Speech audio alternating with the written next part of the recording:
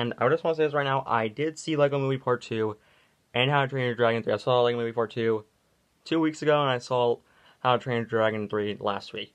The reason I haven't reviewed them was because I have been really busy, and recently we adopted dogs, so yes. I apologize. And uh, so let's review How to Train Your Dragon 3. Now, before we get into this, let me give you a little background. I love the first How to Train Your Dragon movies. I honestly do. Yeah, to me, they're the best DreamWorks has made. But here's the thing: after How to Train, after not How to Train Dragon, um, Kung Fu Panda 3, DreamWorks wasn't doing too good for me. After How to Train, after Kung Fu Panda 3, the only thing to come out out after Kung Fu Panda 3 that I liked was Voltron. And I didn't like the Boss Baby movie or the Netflix show. I didn't like She-Ra. Yes, I actually watched that show. May God have mercy on my soul. And I didn't like Trolls or Captain Underpants. Ants. So I was like, okay, the only thing that is currently going for DreamWorks that I like is Voltron, and but I still held out hope for, for How to Train Your Dragon 3. And I said to myself, before seeing this movie, even though I was excited for it, I said to myself, if this movie isn't good or isn't as good as the previous two movies, I'm done with DreamWorks. I'm not seeing a single more movie made from them, and I'm just done with their company. So I went to see the movie last week, and I loved it.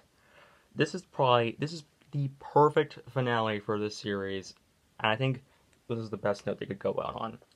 So far, out of the five movies I've seen this year, uh, I think this is easily the best movie I've seen this year. But that's but to be fair, the only bad movie I saw this year was the Kim Possible movie. We don't talk about the movie. Please let's not talk about that movie. Um, let's talk about the story. Now, this movie does take place a year after the events of the first or the second movie, where Hiccup is the chief of Berk after his dad got killed by Drago when Drago um, got his own alpha and used the alpha to control Toothless, and Stoick pretty much pushed Hiccup out of the way and, and pretty much became a Quicksilver before Quicksilver, and they copied off of, and that's how Marvel got the idea for Quicksilver. It's Quicksilver's character in Age of Ultron, on, and unfortunately, even though he's building, even though he's building a new dragon utopia with humans and dragons, making them perfectly live in harmony. Unfortunately, a villain by the name of Grimmel isn't liking this and is all like, hmm, you need my help to take care of this boy. He is just a boy. And but he's interested when they bring up a Night Fury. He has killed almost every Night Fury except Toothless, and he has the perfect bait. The Blue Eyes White Dragon. Okay, I know that joke was obvious, but I couldn't resist it. It is literally a Blue Eyes White Dragon. I don't care what anyone says, it is a Blue Eyes White Dragon. Again. Um, and he goes to warn Hiccup, saying this, bring me your dragon boy, and the rest of your people will be spared. Hiccup's all like, nah, not having that today, boy. He, and Drago almost burns the village, but they try to escape, and they had to take down Drago. So, no, not, I mean, Greenwall, sorry. Sorry. So, what do I think of this movie? It was really well done. The animation is spectacular in this movie. The characters I really liked. In fact, they pretty much Gobber's Gobber in this movie. He's pretty much a shipper. He's all like, "So, uh, Hiccup, uh, when are you going to propose to Astrid?" Okay, every time Gobber was on scene, he made me laugh. Laugh. Also, there's this like side plot with Snotlout, how he's like trying to marry Hiccup's mom, even though Hiccup's mom is pretty much old enough to be his mom. Yeah, it's kind of weird. But to be fair, this is talking about Snotlout and he's kind of a weird person. Also, also I like how the the parallels between Hiccup and Greenwell is. Pretty much, Greenwell said that he became that he started becoming a dragon hunter ever since he found a, a night fury in the woods and killed it, and he became a hero to his village. Which this is sort of like how T- Hiccup met Toothless. How Toothless was in the wilderness, completely defenseless, and Hiccup was about to go in for the kill, but couldn't bring himself to do it. So pretty much the movie is showing that Greenwell is what would happen if Hiccup took that that step and killed Hick and no, Toothless. It is really interesting to me. The only problem I have with this movie is now this isn't a problem with the movie, is that right around the end of the movie where I was about to cry, some jerk in the theater decided to have their phone go off and I wanted to find that person and beat them up. Seriously, you do not turn you do people not know how to turn off their phones? or are they just dumb, um, or are they a Jake and Logan Paul fan? And and I also thought the movie was very fun with its comedic tone. Um, there is a scene where one of the twins, I'm sorry, I get them constantly confused. Like, they're pretty much like the same character.